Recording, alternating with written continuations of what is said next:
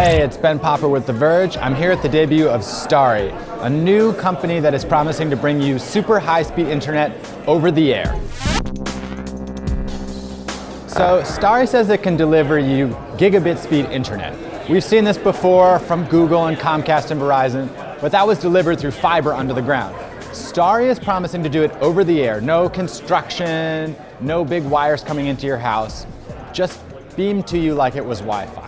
They're using a part of the spectrum known as millimeter wave.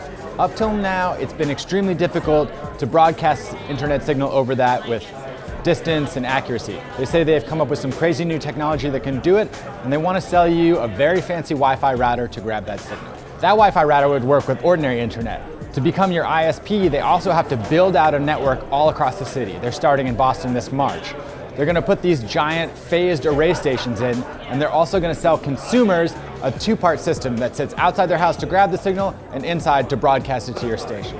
So you had a really ambitious startup in Aereo taking on Big TV. Now you have a really ambitious startup in the broadband internet world. And I think one of the things you talked about was that there are some real issues with broadband access in the country. Maybe talk to me a little bit about what was the motivation here? you know, globally there's going to be ever increasing desire for broadband, and right now there are efforts going on from a coverage perspective. But in dense metropolitan areas, the, you know, you have to build a broadband system if you're going to keep up with it. So, so we decided that this made a lot of sense. I think in the U.S. there's tremendous opportunity because of the competitive dynamics and, and how difficult it is to do actually build out a broadband system. Right. So this is far easier, right, than digging up the ground to put in fiber or flying a fleet of drones overhead that are beaming down the internet.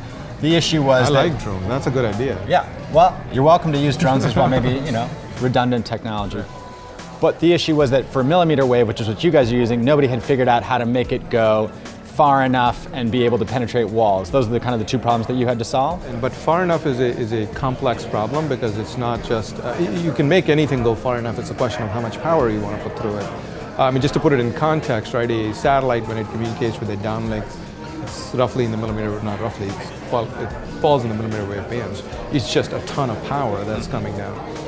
Power is expensive, and I don't mean like, uh, you know, wattage is expensive. The technology to create RF power is incredibly expensive. So the challenge is to solve how do you do far enough with low cost, which is commercially viable. Gotcha. It's a very ambitious kind of wild plan to take on big broadband they don't actually own the spectrum they want to use yet. They're just testing it from the FCC. They're hoping to either win it in the upcoming auction or license it from the person who does.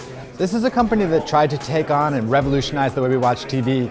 They ended up losing, but it went all the way to the Supreme Court. Now they're trying to radically rethink the way we get internet, high speed internet. We'll have to see how it turns out this time.